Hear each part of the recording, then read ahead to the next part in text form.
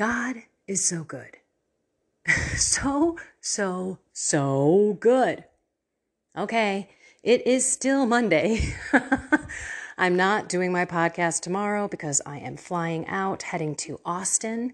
So excited for two two talks, not speeches, two talks. Uh, one for the Diocese of Austin and another one for Legatus. So it's going to be crazy tomorrow.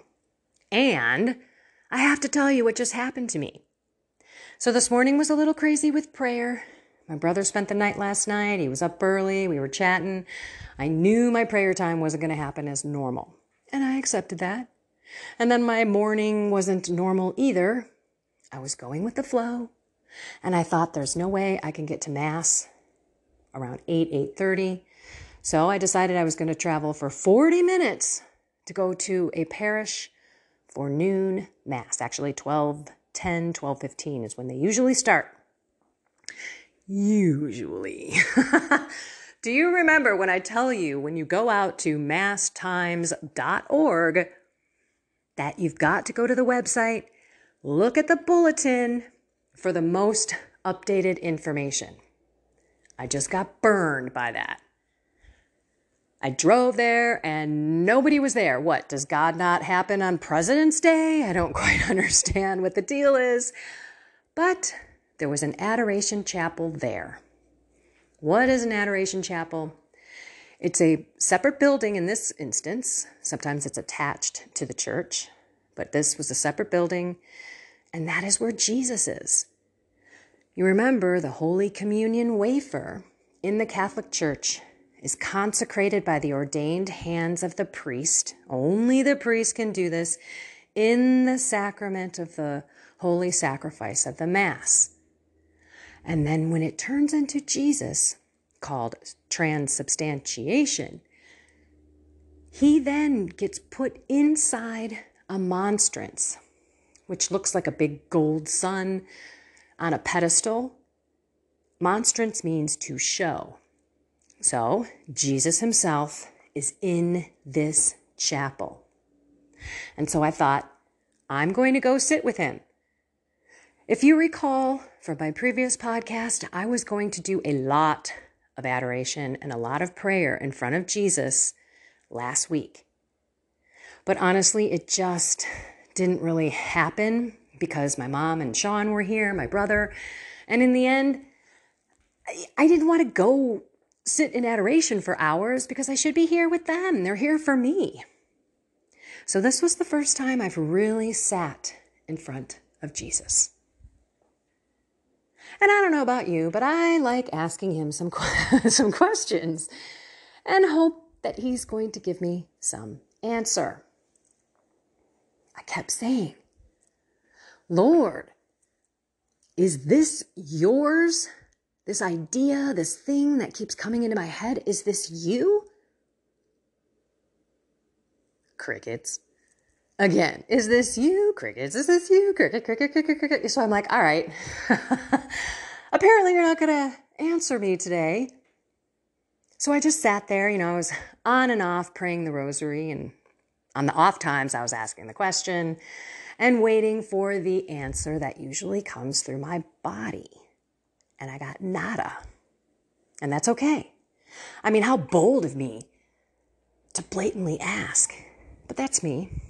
he knows me. And then I feel on my heart, come prostrate yourself in front of me. Now, there's Catholics listening, there's Christians listening, there's non religious people listening. They may not even know what the word prostrate means. So it's when you lay on the front of your body, on your belly, you throw your arms out to the side like you are a cross, and you put your forehead down on the floor. I have never done this not in front of Jesus, not away from Jesus. I've never done this. So I asked, Do you want me to do it now? Guess what? He answered me with that bodily sensation. And I just got up and I walked in front of him and I put myself down on the floor. There's three other people in the adoration room with me. I put my forehead down on the floor, the dirty rug, and I just started bawling uncontrollably. Every muscle in my body was erect. I was, oh, I was just one big muscle. And I was bawling. My tears were just saturating the carpet. And then everything relaxed. My butt muscles, my thigh muscles, my feet even kind of turned out to the side where the ankles relaxed. My arms were completely like limp. I melted into the ground. But my head was up. My nose, the tip of my nose, was on the carpet. I couldn't feel my neck. I didn't have a muscle that I could feel that was flexed to keep my head off of the carpet. How's my head suspending here with my nose touching the carpet and not flat on my face if I have no muscle movement? The tears stopped. Total peace. And then he put on my heart Trust me. Trust me. How beautiful. I stayed there for probably 15 seconds and then somebody else came into the, cha- the, to the chapel and it kind of disrupted me. And so I kind of came out of this relaxed state, you know, like my mind was, I was fighting with this probably healing that was happening to me on that floor. I equate it to resting in the Spirit when the Holy Spirit comes over you to a point where your body is rendered limp, sometimes paralyzed. This was more of a limp thing, but I never moved a muscle. And I seriously do not know how my head was hanging off the floor with my nose just touching it. And all my tears were gone. I have to share this because time in adoration is special. And if you've never been, you can search Catholic Adoration Chapel. I don't care if you're Catholic or not. I don't care if you even believe in God. Go sit in front of Jesus and you will know that's Him. He will show Himself to you beyond that host.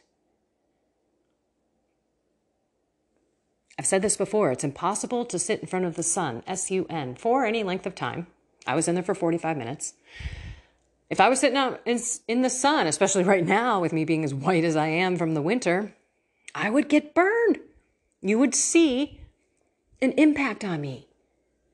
It's the same way with the Son, S O N, of God. There's no way that you can sit in front of Him in adoration or in any Catholic church. Jesus is in the tabernacle. The tabernacle is a box, a little house, typically gold. Hopefully, it's in the center of your parish and not hidden somewhere. It may be to the left, maybe to the right. But that's Jesus. There's always a red light next to him.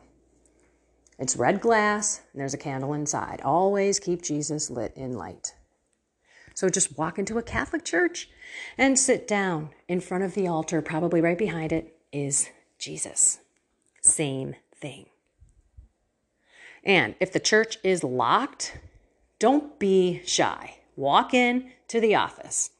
Ask them to open it. I don't know why people lock their churches. Jesus is in there. Come on, let's open it for all of us who want to be healed. I don't know what God is doing here. But I am telling you, I think everything that I am experiencing is for the benefit of us all. This has nothing to do with me anymore. He's just using me to talk to you, I think. And I'm just going to go along for the ride, man. I think this is the most incredible thing. That God can do amazing miracles in your life. He can talk to you in ways that you would never imagine. And it's all about prayer. It's all about building that relationship with Him. So if this is still something that you guys are struggling with, I'm not selling my prayer program, but I'm telling you I have one. So if you go to my website, kendravonesh.com, go to my faith services tab, or actually in the description of this podcast, it's in there too. It's go deep.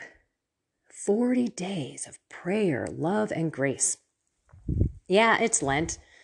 I know Lent has already started. It doesn't matter. you probably need some help. I know I did. Continue to seek Him, His goodness, His voice. Pay attention. And let yourself be guided by the Holy Spirit. I've never prostrated myself before. I was telling a friend of mine who's one of my besties on the spiritual journey about what happened. And she said, Oh my gosh. And then those three people that were in there were praying for you. And it never even occurred to me. I, I responded back in a text. I'm like, Oh my gosh, I never even thought of that. And she's like, LOL. What else would they do? You're down there sobbing, you know, and I got more prayers just not that I was looking for them, but I'm just like, how many more prayers can I get? How many more graces can God pour out on me? How many more ways can He use me to help you? Keep going to Him and know that these things are waiting for you too. Okay. Oh, I just looked down. It was 12, 12. There's a significance to that that you people don't even know. And I will tell you one day. 12, 12. That may be my new thing with God. Huh. All right, everyone, let's pray. In the name of the Father and of the Son and of the Holy Spirit. Amen. Lord, Heavenly Father, Jesus, our Savior, and Holy Spirit, the Sanctifier. Holy Trinity, come into everyone's heart who is listening. Help them know your voice. Help them feel your prompting. Most importantly, help them feel your love and that you're there every step through this journey. Lord, please bless every person that's listening so that they know you're there. Give them consolation, give them peace. Guardian angel, please guide us and lead us and protect us. Mary, take our left hand. Holy Spirit, take our right. Walk us on this journey to Jesus, where we can be free from anxiety and fear and worry and resentment and selfishness and be free from all of those strongholds that hold us down keep us from being the most kind, generous, patient, loving person that God created us to be. Help us walk in your path, and when we fall, turn and run toward you, not away. Because your love as a Heavenly Father is more than we could even handle. In your name, Jesus, we pray. Amen. In the name of the Father and of the Son and of the Holy Spirit. Amen. Wow. What a ride. So glad you're riding it with me because I'd be talking to no one. I would be shouting this out to the world and no one would be listening. This is for you. This stuff can be happening in your life if we're just tuned in if we just spend that time, I'm going to tell you one more thing. I was talking to my mom about it. I came out talking to her all about my healing yesterday, which she's been praying, praying, praying for that to end up happening eventually. And I was sharing the whole thing with her. Okay, this is going to come to to a surprise maybe. I totally forgot what I was about ready to say about my mom. And I pushed pause and I've been thinking. I've been casting out the spirit of memory loss and confusion and distraction. And I cannot seem to remember what I wanted to share. Huh. Go figure. It'll probably come to me and I'll come share it at another time. Then I can give you some time back only about 15 minutes, not bad for me today, considering this bad boy is supposed to be 10. ah, again, I'm so blessed to be walking with you. I am not alone, and neither are you. Super excited to be walking this Lent with you, and I'm still not able to remember. I'm trying to think while I'm talking, not happening. Okay. Find something more with God. Maybe your thought or the thing that you were thinking of. Ah, and have a blessed and inspired day. I love you.